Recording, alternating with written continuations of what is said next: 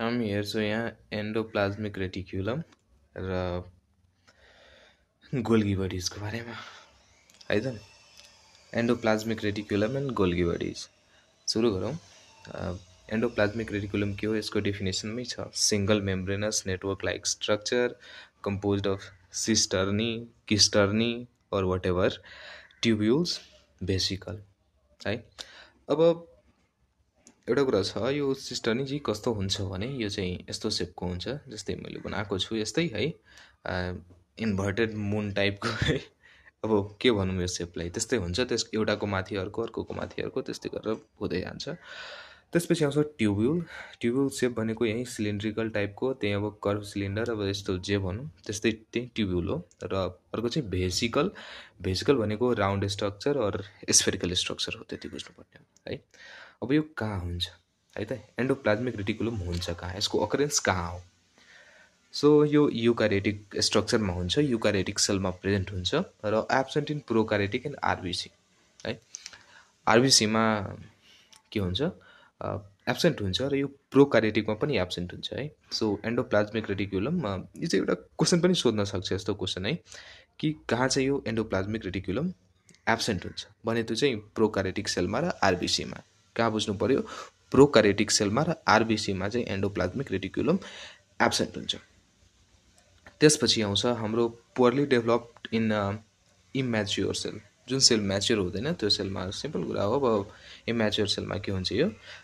पुवरली develop हुन्छ र यो एब्सेन्टवाला कुरा चाहिँ बुझ्नु भएन है। यो कहाँ एब्सेन्ट हुन्छ भन्ने कुरा बुझ्नु भएन। प्रोकारेटिकमा त अभियसली एब्सेन्ट नै हुन्छ किनभने त्यहाँ अर्गेनल्सहरू एब्सेन्ट हुन्छ त्यहाँ पाउने भनेको राइबोजम मात्रै हो प्रोकारेटमा है?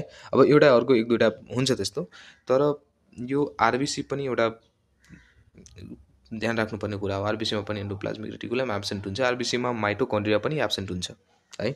आरबिसीमा माइट्रोकन्ड्रिया पनि एब्सेन्ट हुन्छ। त्यसपछि अब त्यसपछि जाउँ हामी। अब यसको स्मल फ्रेगमेन्टलाई के भन्ने what is the small fragment of endoplasmic reticulum is called endoplasmic रेटिकुलमको सानो फ्रेगमेन्टलाई के भन्ने।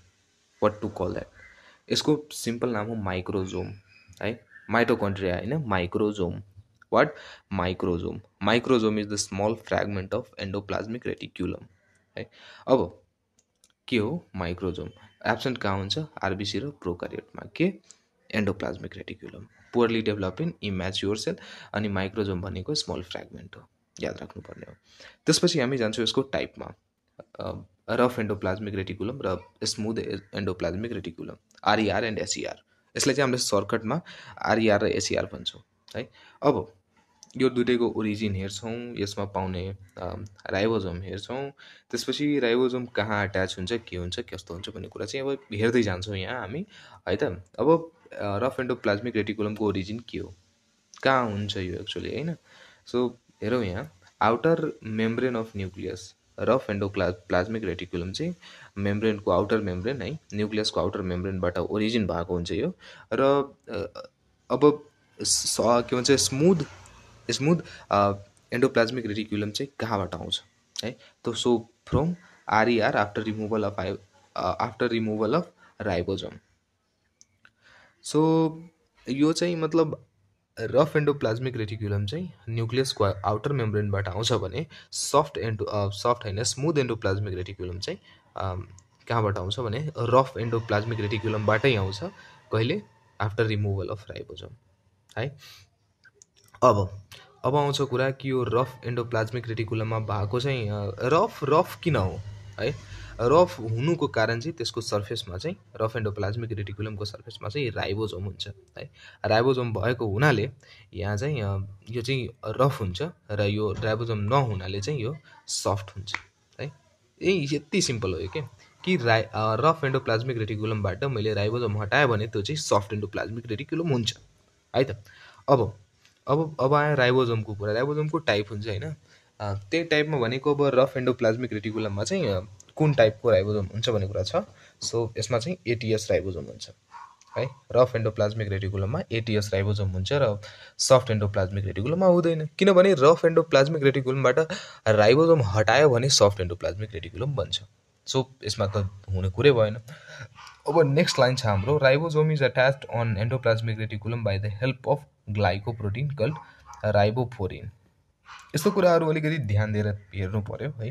अब यसो कहाँ सुनेको छु भनेको भरमा पनि हामीले लाउन सक्छौँ सो त्यति डिप जानु पर्दैन होइन? र अलिकति ध्यानमा राख्नु पऱ्यो कि यो टर्महरू मैले कहाँ सुनेको छु। सो यहाँ अलिकति ध्यानमा राख्नु पऱ्यो राइबोफोरिन है।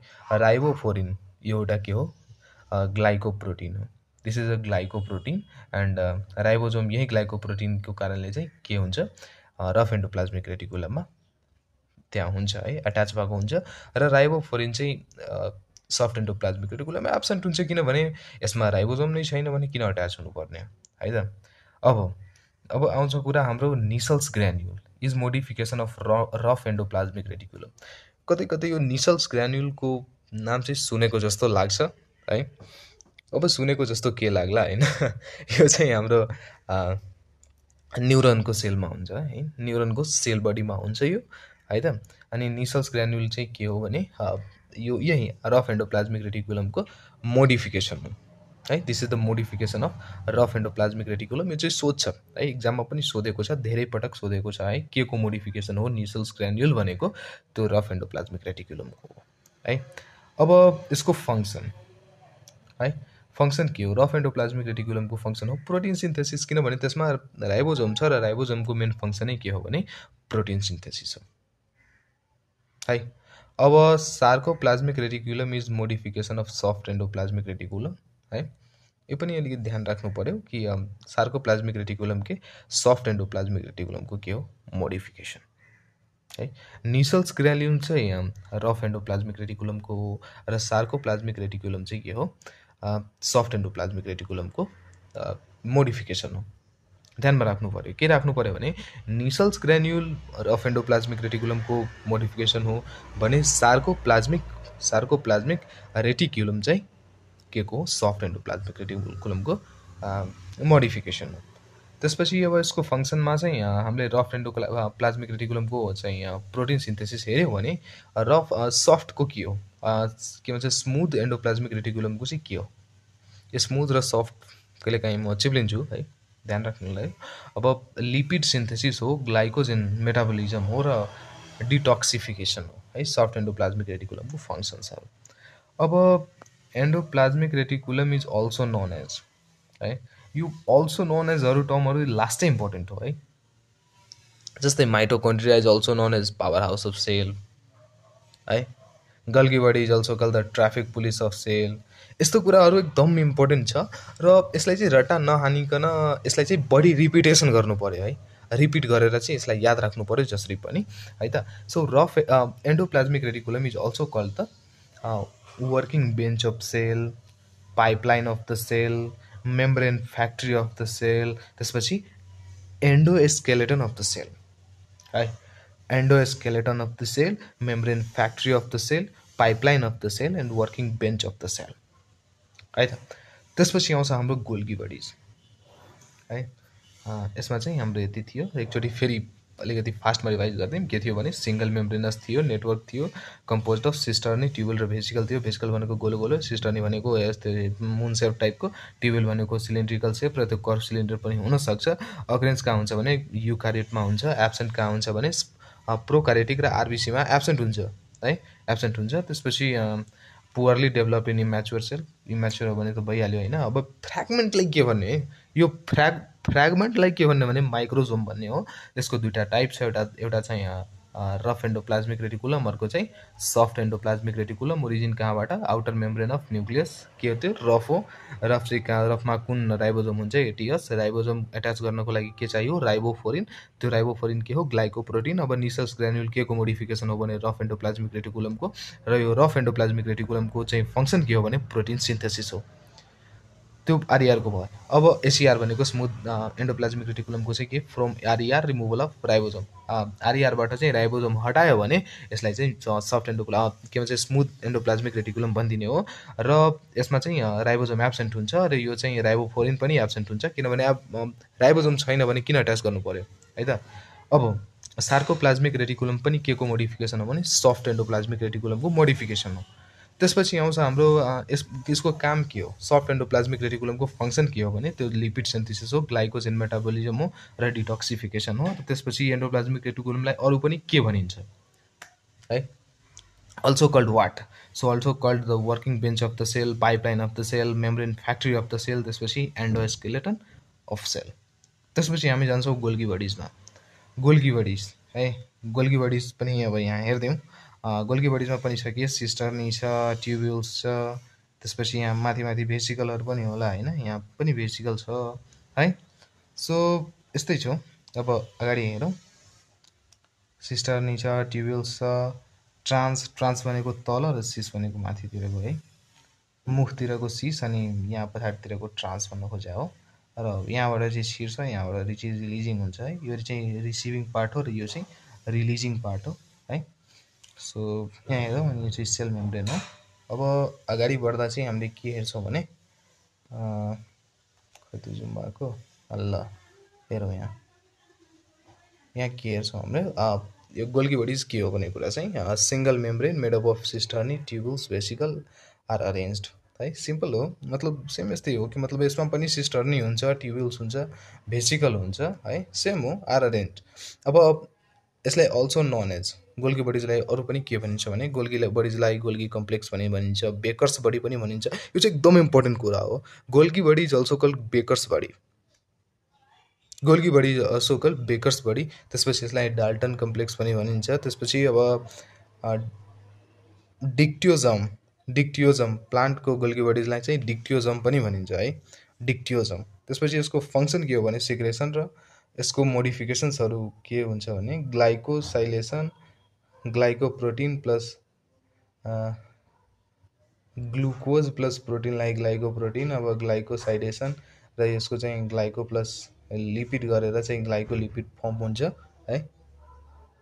यसले गर्ने काम फङ्सन हो। फङ्सन के गर्छ? सेग्रेसन र मोडिफिकेसन गर्छ।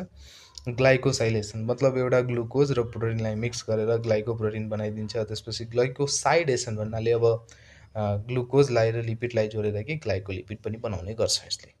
है गोल्की बडिजले। है त्यसपछि आउँछ यसको फङ्सनहरू है यो फङ्सनहरू एउटा सिग्रेसन र मोडिफिकेसन हो। त्यसपछि अब आउँछ director of macromolecular traffic of cell. Macromolecular traffic of cell मतलब ठुलो ठुलो मोलिकुलहरूलाई हेर्ने सेल है। अब यो यसलाई चाहिँ ट्राफिक पुलिस अफ सेल पनि भन्छ मिडल म्यान अफ सेल पनि भन्छ सेल प्लेट फर्मेसन पनि यसले गर्छ। यसको फङ्सन हो सेल प्लेट फर्मेसन पनि गर्छ। त्यसपछि सेल वाल मटेरियल सिन्थेसिस पनि गर्छ यसले। मतलब सेल वाल बनाउने कुराको चाहिँ मेन काम यसले नै गर्छ। अब एक एक्रोजोम फर्मेसन यो पनि लास्ट यो पास्ट क्वेसन नै हो है। एक्रोजोममा के हुन्छ भने गोल्की बडिज हुन्छ त्यसपछि हाम्रो एउटा रुटमा पनि एउटा हो है रुट क्यापमा पनि यसको नम्बर धेरै ज्यादा हुन्छ। म्युसिलेज त्यहाँ सेग्रेट गर्छ गोल्गी बडिजले है। लाइसोजोम फर्मेसन लाइसोजोम पनि यसले फर्म गर्छ है। सेक्रेसनमा आयो भने द्याट इज गोल्गी बडिज है। Mucilage at the root of tip of the secreted by the Golgi bodies है। यसो मैले भनेको थिएँ होइन। कि यसलाई चाहिँ रुटको चाहिँ रुट क्यापतिरको चाहिँ अब तिर यो फर्म भयो भने यसलाई चाहिँ यसले चाहिँ के गर्छ? म्युसिले सेग्रेट गर्छ जसले चाहिँ हाम्रो के भन्छ सोइलतिरको चाहिँ त्यो माटोलाई चाहिँ भिजाउने काम गर्छ यसले। So this is all about Golgi bodies Golgi बडिजमा यति पढ्नुपर्ने हो र यहाँ चाहिँ मेन मेन कुराहरू छ जस्तै गोल्की बडीले अरू अरू के के भनिन्छ? बेकर्स बडी पनि गोल्की बडी गोल्की बडिज नै भन्छ है। जस्तै कोच डिजिज चाहिँ ट्युबरक्लोसिसलाई भन्छ होइन? अनि स्लिम डिजिज चाहिँ हाम्रो यता एड्सलाई भन्छ। त्यस्तै अब यो पनि हो डिक्टियोजम प्लान्टमा भयो भने प्लान्टको गोल्की बडीलाई डिक्टियोजम भन्ने हो त्यसलाई चाहिँ डाल्टन्स कम्प्लेक्स भन्ने हो है। यति हो। र अब ग्लाइकोसाइलेसन भनेको ग्लुकोज र प्रोटिनको लागि मिलाएर मिक्स गऱ्यो भने त्यसलाई ग्लाइकोप्रोटिन भन्ने हो। ग्लाइकोसाइडेसन भन्यो भने ग्ला ग्लुकोज प्लस लिपिडलाई जोडिदियो भने त्यो चाहिँ ग्लाइकोसाइडेसन हुन्छ। यही प्रोसेसहरू चाहिँ के केले गर्ने गर्छ भने गोल्गी बडिजले गर्छ। यसलाई चाहिँ director of macro molecular traffic of cell पनि भन्छ। ट्राफिक पुलिस अफ सेल भनेको गोल्गी बडिज नै हो। सो यति थियो मिडल म्यान अफ सेल भने पनि गोल्की बडिज हो so this is all about endoplasmic reticulum and Golgi bodies यसभन्दा पनि धेरै अरू कुरा पनि धेरै फ्याक्टहरू होला यस्तो म भन्न भन्दिनँ कि अब यति नै हो तर यी कुराहरू चाहिँ इम्पोर्टेन्ट हो। सो ध्यान दिएर हेर्नु होला। र यतिसम्म तपाईँले हेर्नुभयो भने धन्यवाद। जय नेपाल।